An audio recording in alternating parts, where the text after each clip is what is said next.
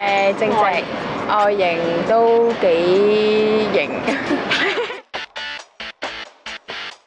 誒 大隻咯，大隻，勇敢咯。外形好大隻咯，好高大，黑黑實實咁咯。唔怪得知咧，連啲配對公司咧都特登揾啲消防員咧參加配對活動，仲喺張心形嘅邀請卡上咧寫上「覓得真愛不再是夢，給單身的消防大哥」。配對公司寄求愛卡，抢消防員級下。表面系一个平凡嘅公民袋，实际装住嘅系一张配对公司嘅心形邀请卡。约会成真，遇见真爱。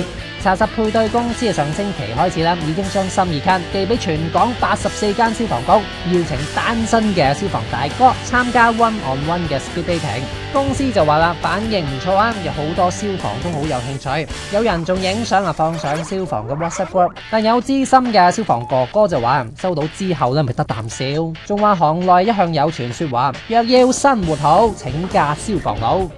消防員第一個印象首先係一定係大隻啦。如果當日有一批消防員嚟參嘅時候咧，嗰嗰批女會員咧，一見到消防員咧，可能個心情都會叮一聲好開心嘅。估唔到即係 speed dating 真係會有啲咁高質素嘅諗法㗎嘛。據了解，商業信寄俾消防局咧，會由上級決定啊派唔派俾下屬嘅。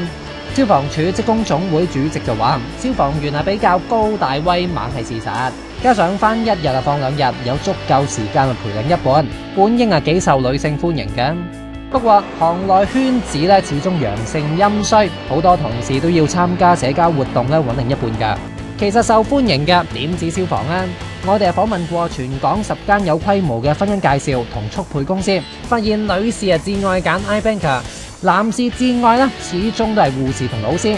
至於最抗拒嘅話，男女普遍都對零售同保險等等推銷嘅行業咧最為反感，擔心會有避忌同為人势利啊！苹果手机 App 新增最新通知功能，只要听到。就知有大新闻，快啲更新啦！